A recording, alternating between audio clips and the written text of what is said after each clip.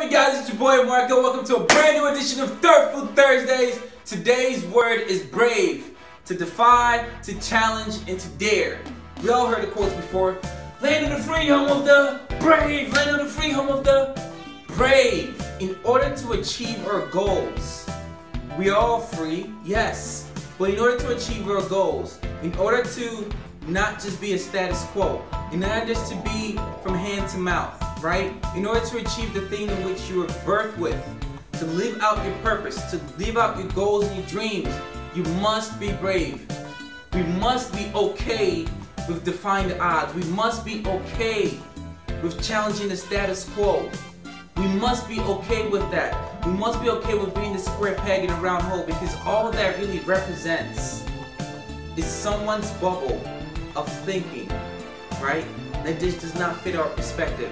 The same exact thing actually happened when people were going and saying, hey, the world is flat, right?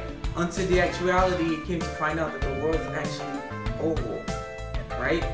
The same way we have the Oprah Winfrey's of the world, the same way we have the Richard Bransons, the same way we have the Elon Musk, the same way. Name the person, name the person that has done anything, right, that really makes a true breakthrough or difference.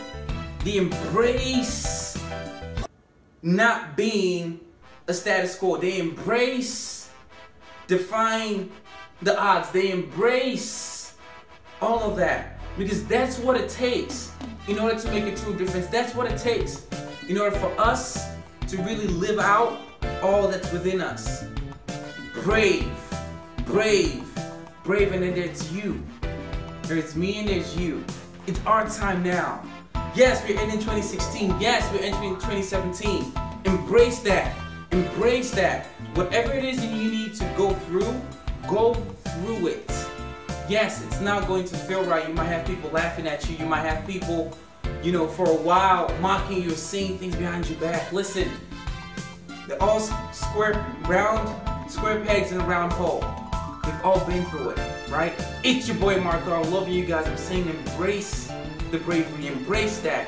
Embrace that for a while because eventually the same people, the same exact people that says you couldn't do it, be like, dang, I'm glad you did it.